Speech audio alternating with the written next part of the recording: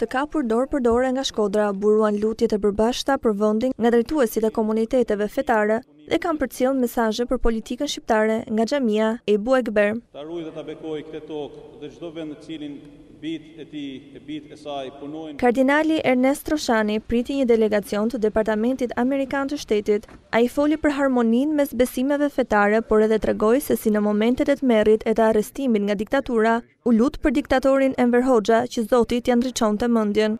Krishti ka thënë me i dashtë të gjithë njerëzit, kjo është një miq, kjo është një miq, me u lutë për ta, lutem edhe për Enverin që t'ia shndrisë mendjen, na ka pas thënë Krishti, kanë me u ndjek, kanë më shëllgu si mu, mos kini frikë se unë e kam fitu botën, me dërësia me dashtë një për ta.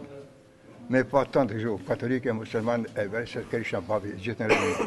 Kardinali tregoi që është arrestuar pasi mbajti meshë pas vdekjes së presidentit amerikan Kennedy. Për meshë për John Kennedy. Po, ta urdhëroi papa kur vdiq Kenedi presidenti amerikan, ti çove meshë, dhe aty të arrestuan. Te mesha, dhe kishë ja bënum në, në rrëqën sovjetike, në një sovjetike, vejtë për Moskët në Frankshë. Aty ishte figura John Kennedy, me Jacqueline.